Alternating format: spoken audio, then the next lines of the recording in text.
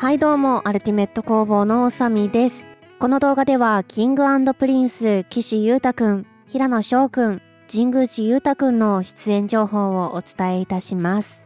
早速、明日、9月18日月曜日、 King & Prince、岸優太くん、平野紫耀くん、神宮寺勇太くんともに、テレビ出演情報、雑誌の掲載情報、ラジオの出演情報はありません。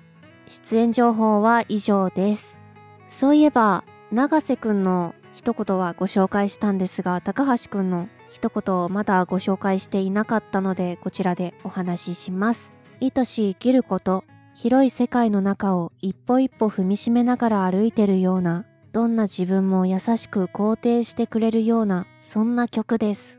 そこに水面を眺めている一枚の写真が載っていました。そしてジャケットについて、水に浸かってたりとか花とか愛し生きることの世界観にマッチしていておしゃれだけど結構パンチのあるデザインです。その分文字の形はシンプルにしているところがポイントです。レン。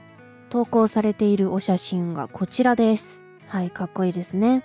そして実は現在9月16日に撮っているんですけれども追加の情報がありましたら概要欄の方に貼らせていただきます。で、16日のトレンドに、レンレン卒業長瀬のつぶやきとありまして、大学ご卒業おめでとうございます。すごい大変だったと思うんですよ。ダンスしたり歌歌ったり番組出たりしながらも学業にも取り組む姿勢という、すごい努力してるんだろうなって思います。